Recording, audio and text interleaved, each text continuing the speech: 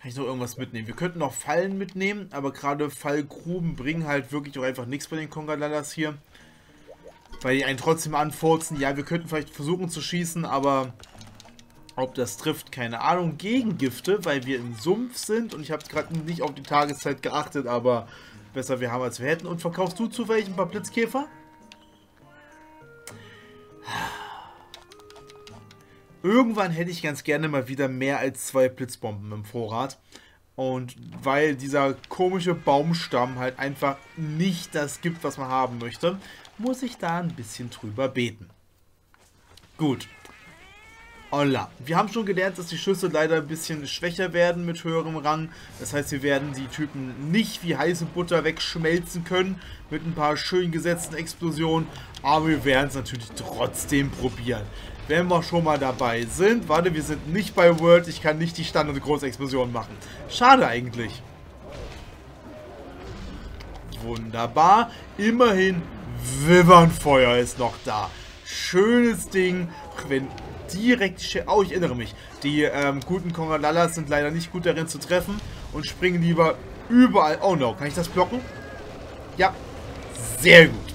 Dann kann man auch mal in dem großen Kotzestrahl drin bleiben. Rülpsstrahl. Ich bin trotzdem, ich stinke trotzdem. Das macht erstaunlich viel Sinn. Wenn man da in so einem Rülpsstrahl drin steht, dass man leider nicht weiter Dinge essen möchte. Gut, aber es ist alles egal, solange wir kein Damage bekommen. Nein, ach komm. Es ist so ein beschissener Kampf. Und dann sind auch noch so viele da. Oh, das ist ein ganz schlechter Start. Oh no. Oh no. So, erstmal ganz kurz wegdungen. Wunderbar. Und ich glaube, so ein Maxi-Trank, um ja nicht die 100 zu kriegen, ist, ist glaube ich, gerechtfertigt. Ja, okay. Du bist gut um Rülpsen. Ich liebe es, dass die Monster auf dem höheren Rang neue Fähigkeiten bekommen. Und ja, das ist für die meisten Zuschauer absolut normal. Ich glaube, das ist passiert in World auch so, in Rise bestimmt auch. Passiert bestimmt in jedem Monster Hunter Spiel. Aber weil ich so häufig irgendwelche verkackten eigentlich sehr, sehr cool, aber für mich zu schweren äh, Challenges gemacht habe. Äh, so wie Ultra Hardcore, im Besonderen Ultra Hardcore.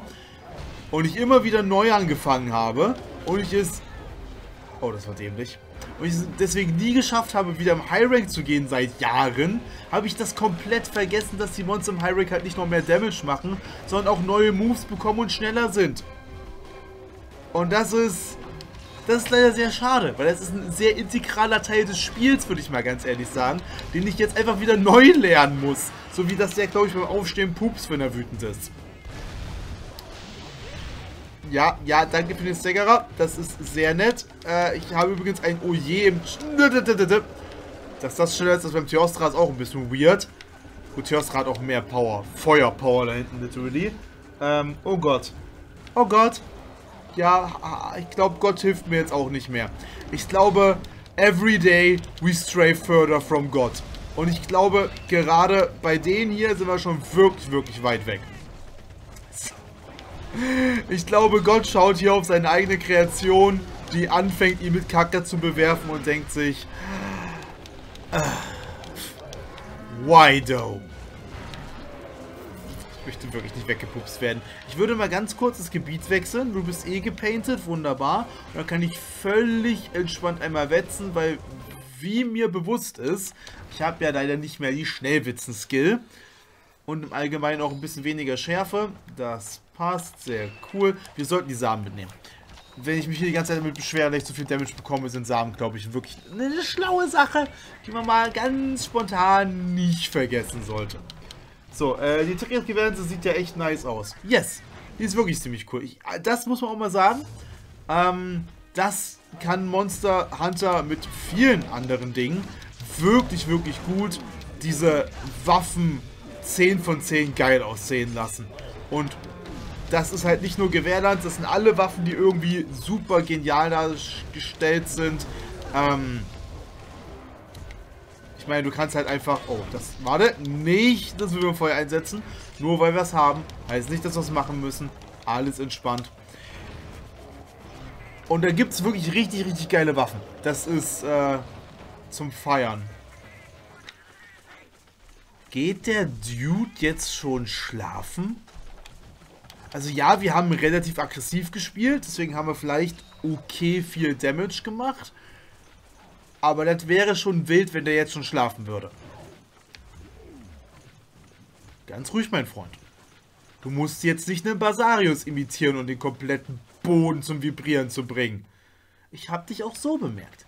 Ich habe dich bemerkt und sehr aktiv entschieden, dich zu ignorieren. Okay, er schläft noch nicht. Haben wir das mitbekommen, aber äh, äh, er ist tot. Cool. Dann wäre er geschlafen. okay, wir haben Hard Damage gemacht. Okay, never mind. Monster mit Feuerschwäche werden immer noch einfach nur weggepöllert von der Gewehrlanze. Das äh, habe ich actually nicht auf dem Schirm gehabt, dass die so hart reinballert. I, I don't mind. Ist okay, nehmen wir mit. Ähm, wenn man die scheiß Gypsoros davor als Vergleich hatte. Naja. Okay. Let's go. Umso besser, dass ich den Max-Trank genutzt habe, dem Quest, wo ich sie höchstwahrscheinlich überhaupt nicht gebraucht hätte. Aber dann lieber vorsichtig sein. Ähm, wir sind jetzt so knapp davor, dass ich tatsächlich dem Monobloss ehrenvoll mein hundertstes Mal geben kann ja, was ganz Besonderes. Das sollte man immer in Ehren halten, das hundertste Mal. Ist wie das erste, nur halt mit zwei Nullen. Also ist es ein Dreier in der Regel. Und das macht Sinn, weil ich mit dem weißen Monobloss und normalen Monobloss zusammen kämpfe. Also ich mit zwei Nullen. Dass das mein hundertstes Mal wird, das macht absolut Sinn. Jetzt habe ich das so cool angekündigt. Jetzt darf ich wirklich, wirklich, wirklich, wirklich nicht beim fucking nächsten... Hola, mein Freund! Kongalala sterben. Der kam aber auch literally aus dem Nichts. Hallo? Ja, ich stehe auch hier.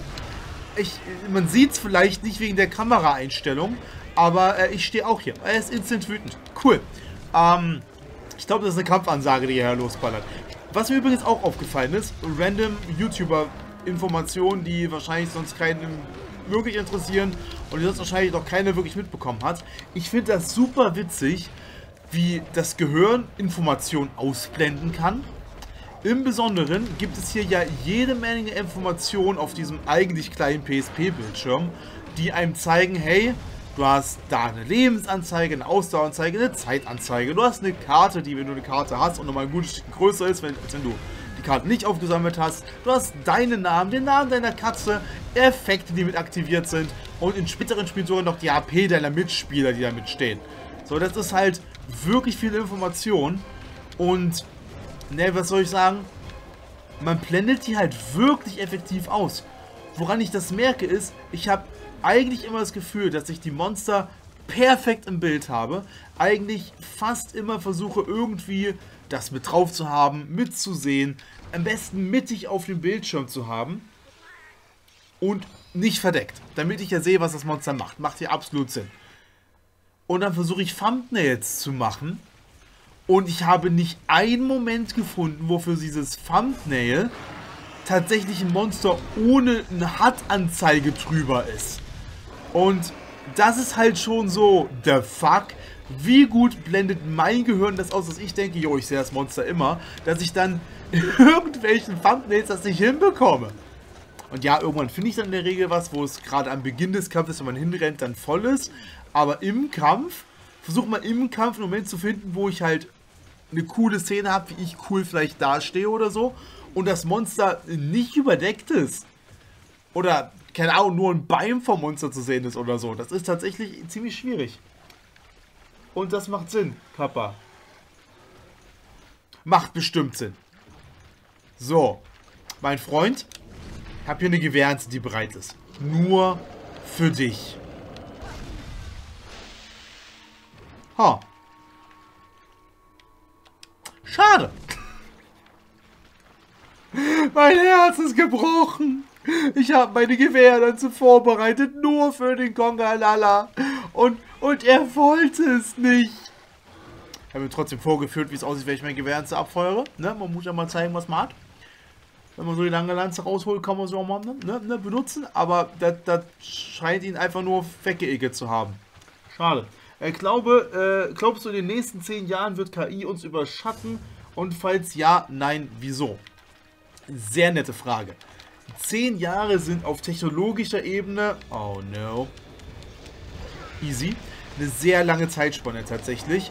Äh, wenn man überlegt, wie viele Fortschritte KI in den letzten paar Jahren getan hat, jetzt wo auch so mehrere Firmen tatsächlich Sachen sammeln, um die, die KI ähm, voranzubringen, würde das natürlich nochmal ein gutes Stückchen schneller gehen und auch wirklich ein gutes Stückchen schneller voranschreiten. Das heißt, es kann sehr gut sein, dass KI die Intelligenz im Namen irgendwann verdient. Das Problem ist, so wie KI momentan programmiert ist, ist es eine interessante Definition von Intelligenz. Weil was es ja im Großen und Ganzen macht, ist es ja Mustererkennung. Und ja, man kann sagen, Mustererkennung ist in der Tat auch das, was wir als Intelligenz bezeichnen. Also es ist ein, in der Tat intelligente Sache, wenn du siehst, ah, gucke mal, dieser Pixelbrei da vor mir sieht aus wie ein pinker Affe. Ähm, was ja allein schon eine Abstraktion ist, ein pinker Affe, what the fuck. Und dann auch noch, wenn irgendein Pixelbrei dafür erkannt wird, ist es schon eine Mustererkennung, wo man Dinge zusammenführen kann. Es ist schon eine Art von Intelligenz, obviously. Ähm, aber die Frage ist, ob Intelligenz irgendwann tatsächlich auch was... Oh no! Nein! Ah! So close! Und dann wurde ich einfach im fucking Affentheater umgeafft. Wie beschissen ist das denn? Oh, so beschissen, dass die 100 nicht mal mehr reinpasst. Ah, du Mädchen, du hast dich abgelenkt. Was soll das denn? Ah, belastend. Also, ich hatte die KI schon überholt. Kappa. Danke. Danke. God fucking damn it. Oh no. Es war so close davor. Äh, dachte mir, du gibst bestimmt eine gute Antwort, weil du irgendwas studiert hast. Genau, irgendwas studiert.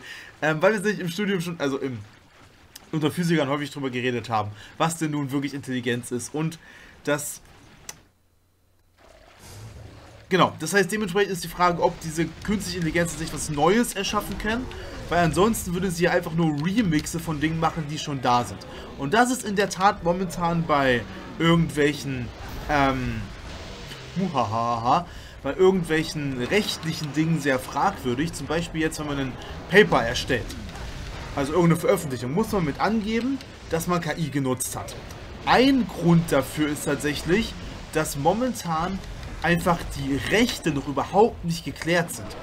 Denn ähm, beispielsweise du lässt ein Bild erstellen von einer KI, dann macht diese KI eine Mustererkennung, heißt sie schaut, was habe ich gefunden, keine Ahnung, du sagst, mach mir ein Bild von Homer Simpson, dann sucht sie in ihrer Datenbank im Internet, was zur Hölle ist eigentlich Homer Simpson, findet da sehr, sehr viele Bilder von irgendwelchen gelben Menschen und wird dir ein Bild von irgendeinem gelben Menschen ausgeben, der wahrscheinlich sogar was? Alter, was ist denn jetzt los?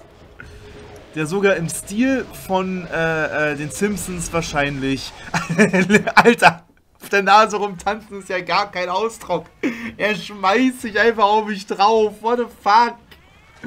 Ich dachte, er ist schon längst tot. Deswegen habe ich so, so Lachs gespielt. Alter, die fucking KI-Frage macht mich fertig. Ich bin scheinbar wirklich schon überflügelt von dieser künstlichen Kampfintelligenz hier, der KKI. Die KKI. Fuck, das passt gut. Ah, die KKI macht mich fertig. Naja, gut. Und, ähm, diese KI, nicht die KKI, ähm, das heißt, was sie sich anguckt, sind Bilder von anderen und macht daraus ein neues. Aber urheberrechtlich hat sie ja grundsätzlich noch die Sachen der alten Künstler genommen. Heißt, wenn ich jetzt Rechte geben möchte an diese KI hat das gemacht, gebe ich der KI die Rechte, weil die es zusammengemischt hat. Und viele Dinge, die wir Menschen erstellen, sind auch einfach nur zusammengemischt aus Dingen, die früher schon Leute getan haben. Keine Ahnung, äh, Tor von Marvel ist auch einfach nur, weil Shakespeare ist falsch. Ähm, hier Sturm und Drang Schiller hieß er, glaube ich, die Räuber. Schiller ist die Räuber einfach nochmal neu aufgelegt und das ist auch einfach nur König der Löwen oder andersrum. Und so weiter und so fort. Du kannst es weiterspinnen. Das sind so die Dinge, die einfach remixed werden. Grundsätzlich selbes Konzept, aber nochmal leicht geändert, um woanders Ziel draufzulegen oder was auch immer. Ähm, sowas halt. Ähm, das ist das dann schon was Neues oder ist das dasselbe nochmal? Und wenn es dasselbe nochmal ist oder leicht geändert, muss ich dann sagen, wie wenn ich jetzt ein Meme mache und 30 Sekunden von einem Video mit rein tue irgendwo, muss ich auf YouTube auch sagen, das ist übrigens das Video da, das habe ich genommen. Ähm, das hat mir die Rechte gegeben, das zu nehmen, aber was ist, wenn die mir die Rechte das nicht gegeben haben? Ne? Darf die KI das dann mit nutzen oder muss ich, wie gesagt, die KI mit zitieren und sagen, KI hat das getan? Ähm, das heißt, das ist einmal das rechtliche Ding dahinter. Und was da jetzt dazu liegt, ist genau dieses, würde es das uns überflügeln, hängt ganz davon ab, ob es irgendwann selbst etwas erstellen kann. Wenn es das nicht kann, dann würde es uns auch nicht überflügeln. Es wird definitiv sehr, sehr viele Berufe obsolet machen. Äh, da gibt es tatsächlich eine, eine Liste. Äh, da haben ein paar äh, Wissenschaftler aufgestellt, welche Berufe als erstes wegfliegen, wenn KI immer größer wird. Und ich glaube, der ich weiß gar nicht mehr, ob, ob Künstler da eins der ersten oder eins der letzten war. Hängt ganz davon ab, wie du Kunst definierst und ob du sagst, yo, Kunst ist halt auch das Remixen von alten, dann kann dann KI relativ schnell Kunst erstellen oder dieses neue und wirklich, ich denke mir etwas dabei, ich will eine Message rüberbringen mit dem, was ich tue. Ob das KI bald kann, ist wirklich eine wichtige Frage, die wir uns auch stellen müssen. Ähm, ganz anderes Thema. Äh, rechtemäßig. Wenn wir dann sagen, hey, wir haben künstliche Intelligenz, das ist eine Intelligenz. Sollte dieser Roboter, der mit KI läuft oder die KI im Internet Rechte haben, wie zum Beispiel Urheberrechte, äh, oder nicht? Haben die Emotionen? Lassen wir dieses Imitieren von Emotionen sind das Emotionen oder nicht? Das sind große Fragen, die wir uns als Gesellschaft stellen müssen. Und das haben wir alles noch nicht. Ähm, das heißt, die Antwort ist, es ist komplex. Wie es leider so häufig ist, besonders auf Facebook-Beziehungsstatis. Äh, ich persönlich vermute... Das ist eine gute Frage. Ich finde es super cool, was KI jetzt schon kann. Das muss man ganz ehrlich sagen. Und ich sehe großes Potenzial, dass sie noch sehr hilfreich wird, aber halt entweder tatsächlich so, dass du Roboter baust, die eine künstliche Intelligenz haben, funktionieren, rumlaufen und ne, so ein bisschen iRobot-mäßig. Oder aber auf jeden Fall als, als Werkzeug zur Unterstützung. So wie ChatGPT jetzt, was ja ChatGPT wirklich gut kann, ist, dass du es hast und sagst, gucke mal, ich möchte jetzt hier ähm, diesen Code generieren und so weiter und so fort.